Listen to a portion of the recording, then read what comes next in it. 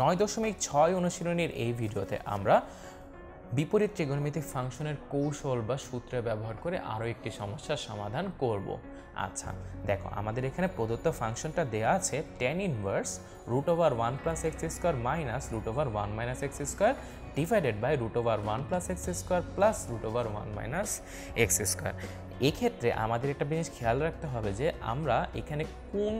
কৌশল বা সূত্রের সাহায্য নিব। দেখো, আমরা tan inverse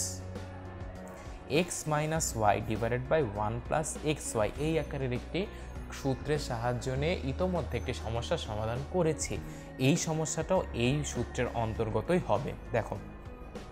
এরকম যদি আকারে থাকে, আমি এটাকে tan inverse x minus tan inverse y আকারে লিখতে পারি। আচ্ছা এখানে দেখো তো, আমার সবচেয়ে গুরুত্বপূর্ণ বিষয় যেটা আগের ভিডিওতে বলেছিলাম, এই ধরনের সমস্যার যে তোমার হরের প্রথম পদটা সবসময় আমাকে ওয়ান বানাতে হবে। তাই, এখানেও আমি যদি হরের এই প্রথম পদটাকে ওয়ান বানাইতে চাই, আমার রুট ওভার এটাকে ওয়ান বানাতে চাইলে আমাকে root over one plus x square দিয়ে হর ও লবকে ভাগ করতে হবে। তাহলে ভাগ যদি আমি করি, তাহলে ওয়াই ইকুয়াল টু বের হয় হচ্ছে টেন ইনভার্স এটা ভাগ করলেও দেখো ওয়ান হয় one minus root over one minus x square by root over one plus x square divided by one plus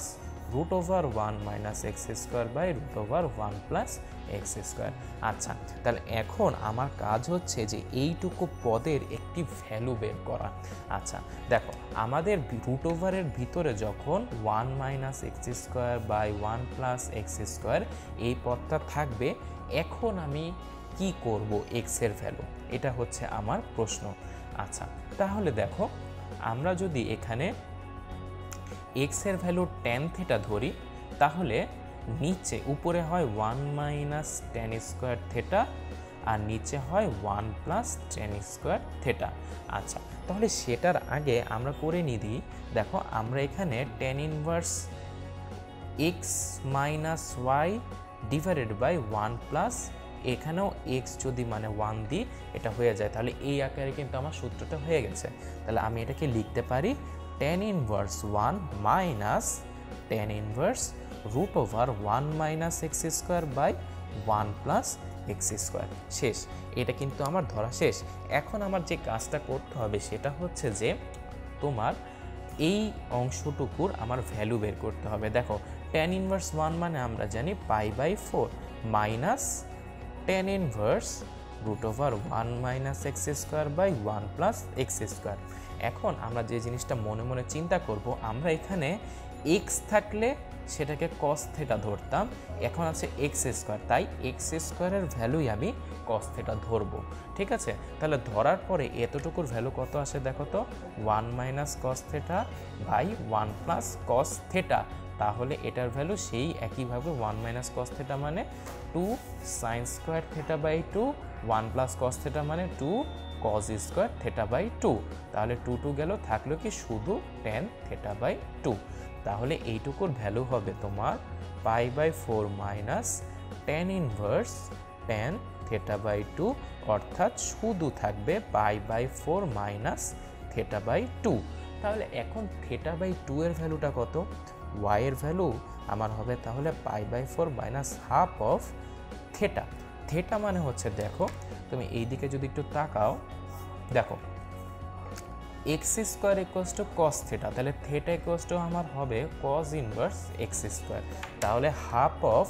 তোমার হবে কজ ইনভার্স এক্স স্কোয়ার তাহলে এই যে আমার ওয়াইয়ের ভ্যালুটা বের হলো pi by four minus half of cos inverse x square এইটার আমার এখন ডেরিভেটিভ বের করতে হবে।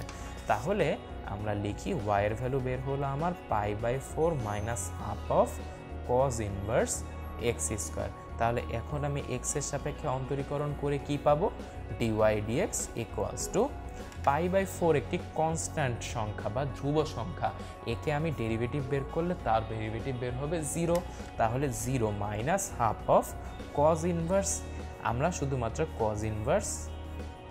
এক্সের ডেরিভেটিভ বের করতে পারি। কিন্তু এটা আছে কজ ইনভার্স এক্স স্কোয়ার তাই এখানে এক্স স্কোয়ারকে মনে মনে এক্স চিন্তা করব। তাহলে কজ ইনভার্স এক্সের ডেরিভেটিভ কত? Minus one by root over one minus x square x মানে এখানে এক্স স্কোয়ার তার whole square into d d x of আমরা যাকে এক্স ধরেছি তার ডেরিভেটিভ অর্থাৎ এক্স স্কোয়ার তাহলে এখন আমরা যদি একটু ক্যালকুলেশন করি, দেখো এই মাইনাস ওয়ান এই মাইনাস ওয়ান মিলে হয় প্লাস ওয়ান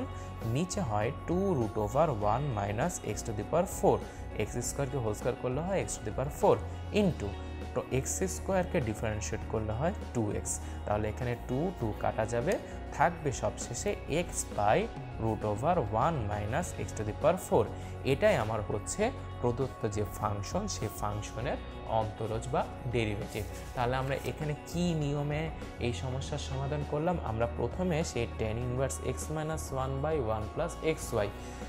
এই সূত্রের সাহায্যের জন্য আমার হরের প্রথম পদটাকে ওয়ান করলাম ওয়ান করার জন্য হর ও লবকে আমরা root over one plus x square দিয়ে ভাগ করলাম। তারপর এটা আসলো, এটাকে আমরা লিখলাম সে ট্যান ইনভার্স এক্স মানে tan inverse one minus tan inverse y মানে ট্যান ইনভার্স এই root over one minus x square by one plus x square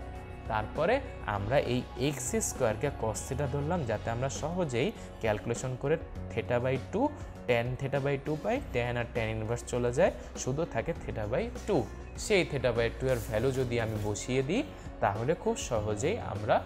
chain রুলের একবার নিয়ম অ্যাপ্লাই করে আমরা প্রদত্ত ফাংশনের অন্তরজ বা ডেরিভেটিভ পেয়ে যাব।